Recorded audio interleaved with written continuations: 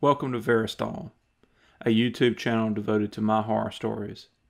I'm Brandon Faircloth, and if you enjoy the story you're about to hear, please like, share, and subscribe. Also, if you don't mind clicking the notification bell, that does seem to help people get notified when I post a new story. I'll also mention that you can find my latest book, The Joker's Wild, as well as all of my other books on Amazon, both in paperback and available through Kindle and there's a link to all of those books down in the description below. Today's story is called The Joy Plague. I should never have stopped when I saw the laughing man in the middle of the road. His face was bloody, his khaki pants and red polo shirt were dirty and torn, and his bare feet were red and scaly from however far he'd walked on the hot asphalt before plopping down to have a good time braying at the sky like a donkey. Tears left tracks down his cheeks as he wept with the effort of chortling and guffawing so hard and fast and loud that his chest shuddered with the effort to suck in enough air between bursts. He looked exhausted and pathetic and crazy, but also like someone that needed help. So instead of driving around him, I slowed to a stop just past him and pulled over to the shoulder, glancing both ways down the long stretch of highway before walking over to him. Sir, um, are you okay? Were you in an accident?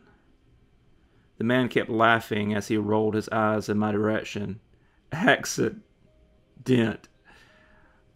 I wasn't sure if that was a confirmation or not, but at least he could hear me. Maybe he was in shock.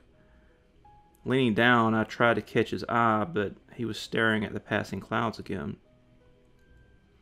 I studied him for a moment, looking for bleeding wounds or broken bones, but not seeing any at a glance. Maybe he could get up and get out of the road, and then I could call for help. Sir, are you okay to get up? I think if you're okay to stand and go with me to my car, I can try to get you some help. If not, I'll stay with you and call from here. The man looked at me again briefly and then looked past me to the car, his laughter slowing for a moment. Chuckling under his breath, he glanced back up at me and then stood up with surprising speed.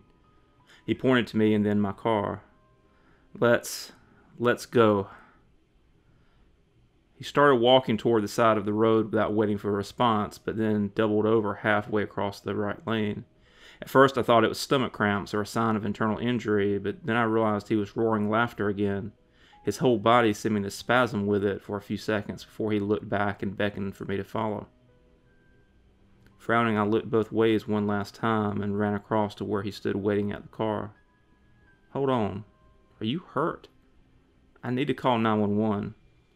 Pulling out my phone, I saw the no service icon in the corner of the screen. I looked across the car to the man. Sorry, I don't have a signal right here. It's weird because I was just streaming music for the last hour.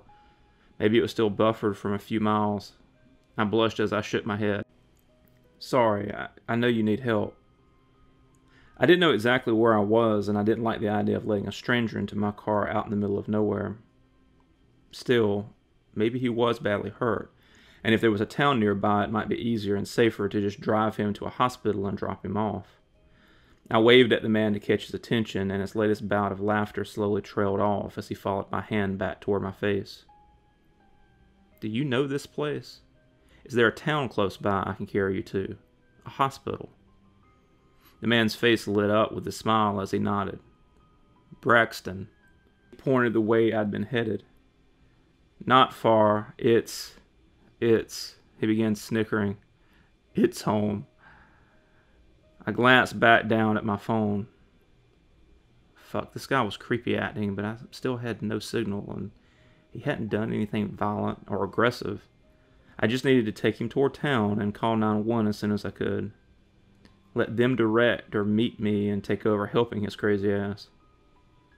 Trying to keep my expression neutral, I nodded. Sounds good. Get in and I'll take you back. Wiping away more tears of laughter, he nodded and climbed into my car. So, what's your name? We were five miles down the road at this point, Still no signal, but I had seen a sign saying Braxton was only two more miles away. I'd have preferred to just stay in quiet until I got rid of him, but That damned laughter was hard to listen to, and it did seem to lessen when he had to talk. Her- Harry Marcus. I gave an awkward smile. Good to meet you, Harry. I'm Jeff. Did you, um, have an accident out there or something? I glanced over at him again. Closer up, I still wasn't sure he was really hurt, other than a scrape on his forehead, which seemed too small for the amount of blood on his face. Maybe he hadn't been the one bleeding so much. Shit, were you by yourself out there? He nodded and went to speak when another peal of laughter shook his body. Taking a deep breath, he tried again. Alone, yes. What about how you got there? Did you have a car accident? Harry shook his head as he wiped a line of bloody snot from his nose. No, no accident. They left. They left me out there. Would have would have carried me farther, but they forgot. With this, he vomited a little, leaving a fine brown mist on the passenger dash as he grew louder, as though he had just told the punchline of a great joke. Feeling queasy myself, I focused back on the road. Um, okay. So where's the hospital here? I want to get you there as quick as I can. The man shook his head in the corner of my view. No, no. Kendra. Take me to Kendra. Down, downtown. I considered arguing, but thought better of it. Whoever this Kendra was, he clearly knew her, and better her deal with his gross crazy than me. I was going to try asking for directions on my phone, but there was still no signal. Did they just not have a tower in town at all? How was that possible? Weighing the pros and cons of asking Harry where to go, I felt relief when we passed a sign that said Braxton city limits. Below it, an arrow pointed forward and then to the right with the word downtown below it. Braxton seemed strange. Just looking at it, it was a small Midwestern town that probably hadn't grown much in the last 50 years. There wasn't much traffic, and I didn't see any people on the street other than the couple of cops that were talking through the window of one of their patrol cars, and then an old man walking alone down the sidewalk near the edge of downtown itself. I thought about turning around and asking the cops for help, but it would just lead me to getting more involved than I already was. If I could just drop him off with this Kendra, that would be good enough, and I could be on my way. Here. So. I followed his gaze over to a shop coming up on the right. It looked like a tailoring or alteration store, and the sign above the door showed a smiling needle and thread laughing at some shared joke above the name, You So and So. Frowning slightly at the sign, I pulled into a spot and looked over at Harry. Here? He nodded, covering his mouth as he chuckled to himself.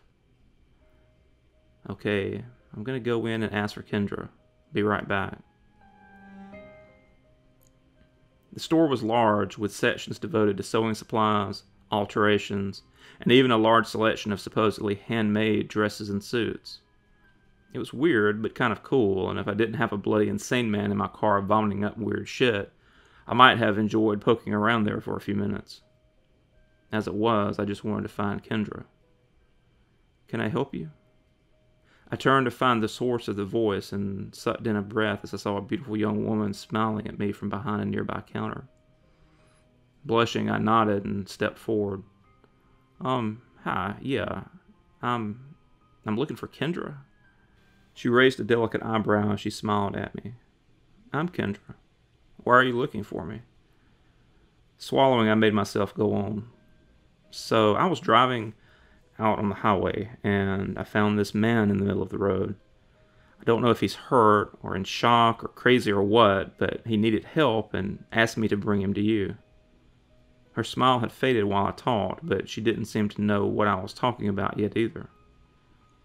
Um, his name is Harry.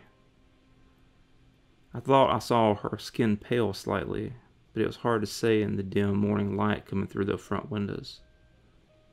Harry? No, I don't think I know any Harry. I'm sorry. She kept her eyes on me, and I didn't see any clear sign that she was lying to me, though I didn't know why she would. Maybe if he's hurt like you say, you should just carry him on to the hospital. It's up the highway toward the north side of town. I went slightly. Look, I can if I need to, but can you just come out and look at the guy? Maybe he gave me the wrong name or something. He's pretty messed up in the head, I think. Keeps laughing all the time, and I don't know. I trailed off as her eyes went wide. No. I. Laughing? No, you need to go. I can't have you here. You you need to take him and go. I frowned. So you do know him. Why didn't you say you didn't?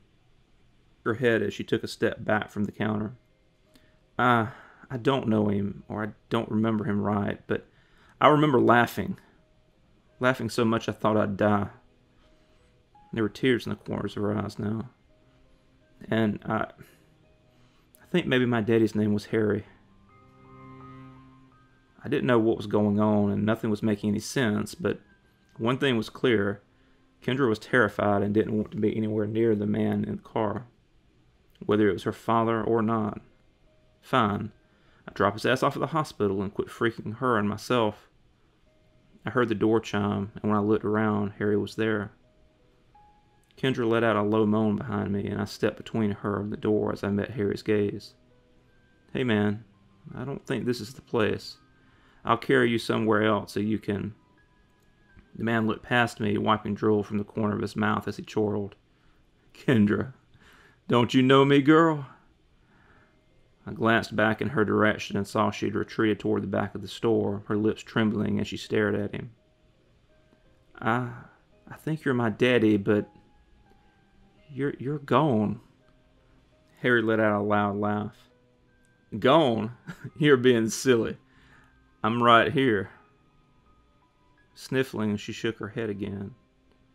No, you went down with the men into the mine, and it fell in, and. And then I came back out, didn't I? Like Lazarus reborn. Other fellows didn't make it, but I did. Oh, I did. The man began to do a strange little jig as he talked, bouncing on the balls of his feet as he edged further into the store. Torn between confusion and anger, I raised a hand as I stepped forward to stop him. Hold up, man. This girl is scared of you. So why don't we go find those cops we passed and let them sort it? Harry looked up at me, his eyes shiny and hard. You're a funny man. Funny, funny, funny. I saw his jaw flexing and I thought he might try to either jump me or run past, but then I heard a new sound behind me. Kendra had started to laugh. It it is kind of funny. And maybe I don't know. He's right though. Daddy came back, but he's he's not the same. He's so funny, but he's mean too. And I don't remember him, but I do. Uh, her voice rose into another spasm of laughter so violent her face flushed red as she grabbed a nearby shelf for support. Kendra's eyes were bloodshot as she looked up at me again. Please, please help. Sucking in a breath, I bolted forward, grabbing Kendra's arm as I passed. Behind me, I could hear Harry laughing louder, as though he'd never seen anything quite as funny as us trying to escape. I'd seen a door on the back wall, and when we reached it, I flung it open, relieved it led to a back office and storeroom rather than a dead end. Pulling the girl through, I slammed the door back shut, but not before I saw Harry slowly walking toward us, a large slash of a grin below his hard, dark eyes. Is there a way out of here? Kendra nodded, giggling. Yeah. Back there is a door to the alley. Taking her hand, I headed for the back, weaving between shelves of fabric and boxes before finding the door and heading out into the empty alley. I looked in both directions, unsure of which way to go. My car is out front. Can you sneak us back around so we can get away? Chuckling to herself, she looked up at me, her eyes panicked and desperate. I think so. Uh, it's getting hard to to think, uh, to want to leave. Uh, it's like what happened before, but a lot faster this time. I gave her arm a squeeze. Just stay focused. Maybe you'll feel better when we're away from him, okay? She nodded and began leading us to the right. We moved behind a couple of other stores and then turned right again to cut between two buildings and back out to the main street. Peering out, I half expected to see Harry waiting for us, but there was no sign of him. Instead, the only person around was that same old man I'd seen puttering down the sidewalk as we'd come through a few minutes earlier. Now he was sitting on the curb, head held in his hands as he wept with laughter. Gesturing to Kendra, I ran out toward my car, jumping in and starting it even as she got into the seat behind me. Looking up, I could see Harry standing at the store window watching us, smiling and waving as I slammed the car into reverse and shot out into the street. If he tried to follow him, I didn't wait to see. I wasn't sure which way to go was best, so I just kept heading the way I'd planned, back to the highway and then on to where we found people that were still sane in this town or the next. Behind me, Kendra was laughing harder, and I felt a prickle of fear at the thought of her at my back and still acting so strange. Um, Kendra, you want to come up here and sit? A snort of laughter. I'm okay. I'm really, really great, I think. Swallowing, I glanced at her in the rearview mirror. I think I'd feel better if you were up here. Looking back at the road, I saw a sign saying the hospital was this way, but I wasn't sure if there was any place in town that was safe to stop. Kendra snickered. it's all going to happen again now. Um, what is? The town going crazy, getting happy, tearing each other apart. I frowned. Are you saying people have been killing each other here? Because of him? it's okay. Look, you can see there. She stuck her arm past my head, pointing ahead of us to the right before climbing over into the seat next to me. At first, I thought she was talking about the hospital coming into view, but then I saw the column of gray smoke pouring up behind it.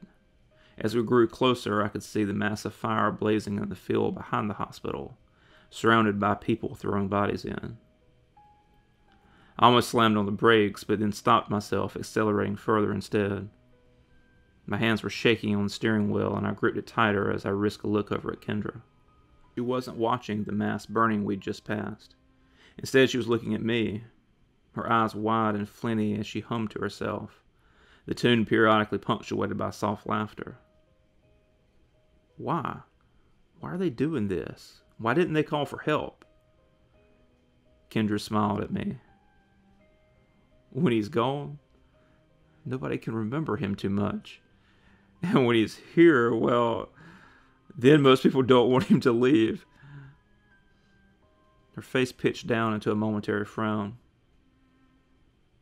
A few people from town still weren't happy, though. They tried to take him away, I guess.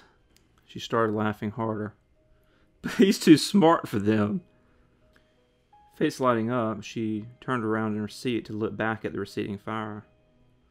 Ooh, I bet they're in the latest burn pile for that. She shoved me in the arm. Turn around. I want to go see them. I want to hear them cook. Her face contorted into another bout of hard laughter as she shoved me again, harder. Fighting to keep the car straight, I shook my head. Stop it. No. We're going away from here, getting you help, telling other people about what's going on here so we can stop him. I jumped slightly as I suddenly felt her lips and teeth against my ear. Why would you want to stop him? Recoiling, I turned toward her. Because he's driving you all insane.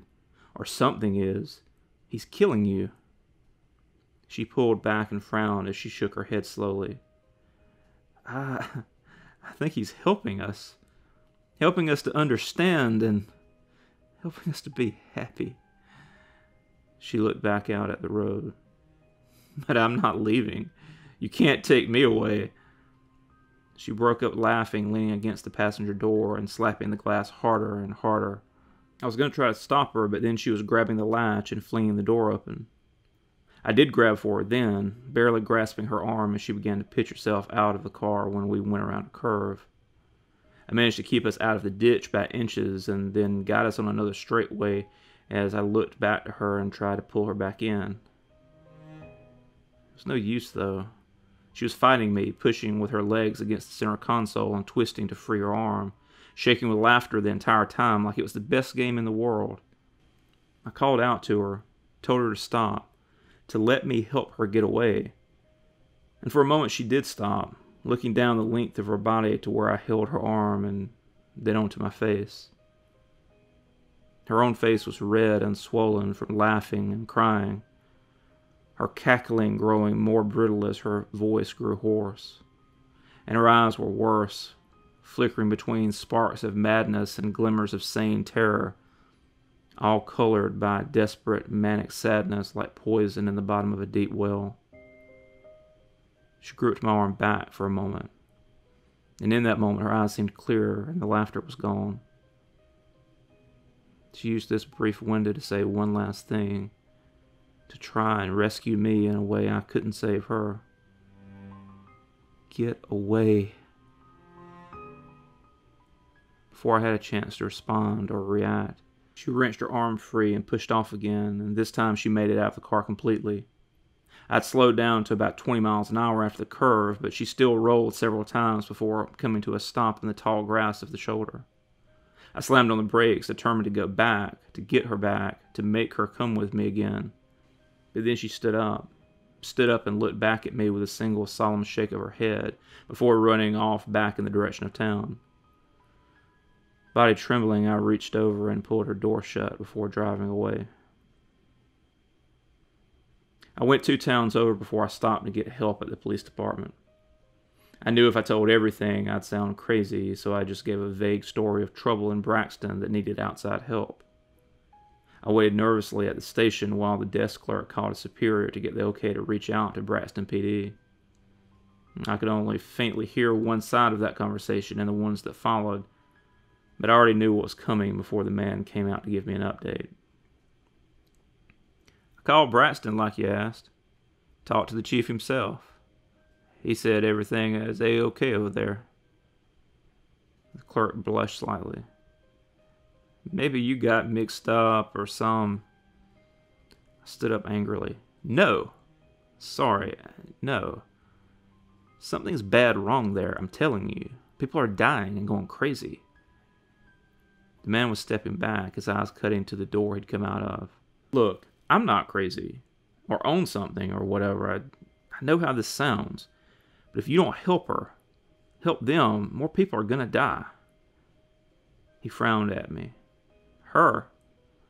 Shaking my head, I went on. Just, are you sure you talked to the chief of police? The clerk's eyes widened a moment before he let out a laugh. Yeah, I'm sure. Harry Marcus. He's been the chief there for years. Great guy. His eyes grew distant for a moment. Real funny. He seemed like he was going to say more, but I was already headed for the door. Spent the last half hour sitting in my car half a mile from the police station, just writing all this down, making sure there's a clear record of everything that's happened and still happening. Hmm, I'm doing it in part because I don't know if I can get anyone to believe me. I'll try again, but something's pushing against being discovered, at least until it's too late. I'm also writing everything down because my memory of today is growing strange, as though I'm passing into a dark forest with brilliant patches of sunlight shining through here and there. Parts of it all I uh, still remember clearly, but other moments from just a few hours ago seem so dim now. But none of this is the real reason I'm writing so fast. I'm desperate to get every detail down is to help someone else understand, to give a warning in case I can't, because I've noticed something else this afternoon. I'm growing stronger as the day passes, making it a struggle to even write these last few words. I can't stop laughing.